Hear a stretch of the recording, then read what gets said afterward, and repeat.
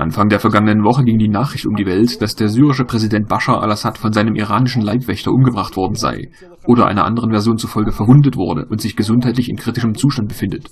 Glücklicherweise erwies sich die Nachricht als Ente, welche von arabischen Medien in die Welt gesetzt worden ist, ähnlich wie die Nachricht, der zufolge die Rebellen angeblich ein iranisches Frachtflugzeug mit Waffen und Munition für Syrien abgeschossen haben sollen.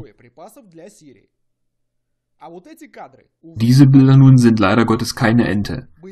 In Damaskus wurde ein Universitätsgebäude aus Granatwerfern beschossen, was zahlreiche Opfer zur Folge hatte.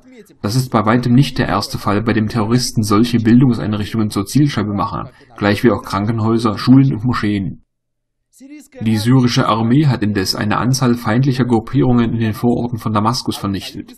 Weiter im Süden des Landes sieht die Lage allerdings nicht allzu blendend aus. Die Rebellenbanden haben die Kontrolle über das Gebiet von Kirbet Ghazala bis hin zur Grenze mit Jordanien hergestellt.